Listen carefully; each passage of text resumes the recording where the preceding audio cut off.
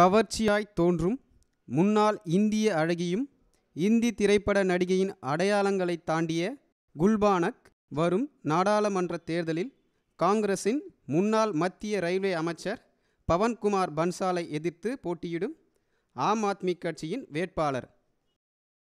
திரை நட்சத்திரங்களை தேர்தல் களத்திற்கு அழைத்து செல்வதில் பல்வேறு அரசியல் கட்சிகள் போட்டி போடும் இந்நிலையில் ஆம் ஆத்மியும் விதிவிலக்கல்ல என்பதை யாராலும் மறுக்க முடியாது. லோகநாதன் ரெட்பிக்ஸ் நியூஸ்